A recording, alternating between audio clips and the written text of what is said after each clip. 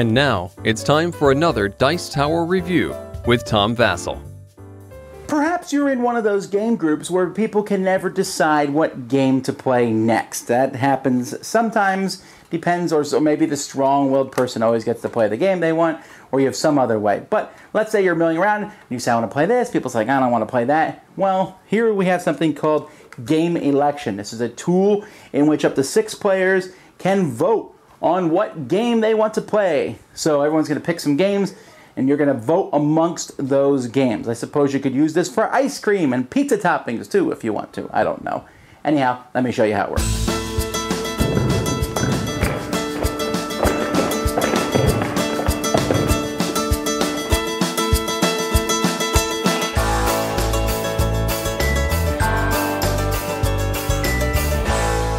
So you put out on the table all the games that people want to play.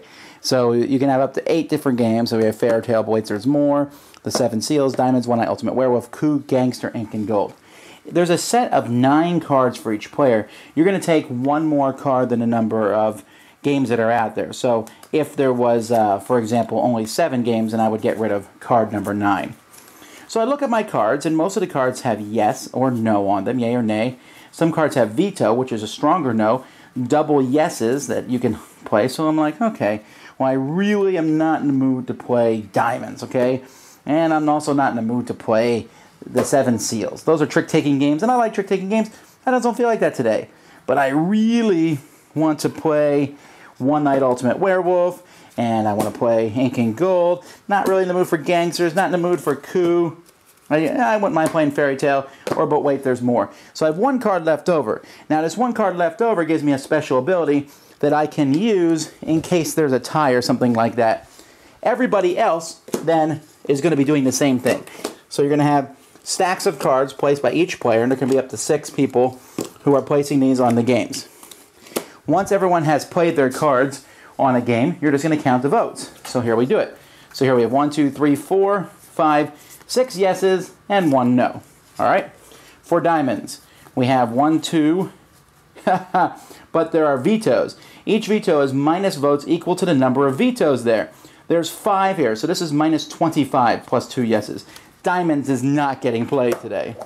It's a great game, folks. Don't let me. Okay, here we have uh, four yeses, and we have uh, five yeses total, and then we have three vetoes, so minus nine. One Night Ultimate Werewolf isn't making it either. Here we have one, two, three, four, five. The veto is only minus one, so that is a total of four.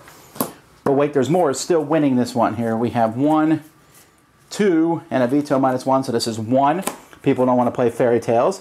The seven seals has four, five, six, seven minus one, so it's at six. Coup has one, two, three, three total.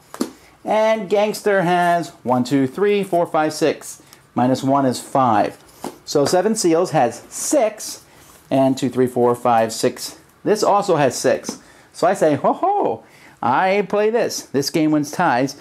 I want, but wait, there's more. However, because I played this card, I have to clean up the winning game. Well, but wait, there's more. Isn't that hard to clean up? So I can play that that game wins ties. Somebody else might have a card, but I played mine first. If there's still a tie, then um, you just have to flip a coin at this point. But um, here you can swap two persons' votes. But if you do that, they get to pick what faction and color you're doing. You can cancel someone's vote. Again, the card you keep back can be used, but they're good cards. They're the vetoes or the double yays. And that's essentially it. That's how you pick the game. The system here is clever. I like it. The cards are nice quality. It works. It's easy to read. I like the special abilities. I have still ended up with a couple ties using this methodology, but it works, okay? I just don't know how necessary it is. I mean, are you actually going to pay? I think this is more like of a gag gift or just something for like the person who has everything. They say, hey, let's get them this. And I could see some groups maybe absolutely need this. Mine doesn't, but maybe you do need this. Like, oh, we can never decide what to play. Then buy this, it will help. Like I said, the voting system is interesting. You're sitting there going, okay, definitely vetoing that. Your veto may not have a lot of power, but if two people veto something, it's probably out, right? Because two times two is four. If three people veto it, it's definitely out.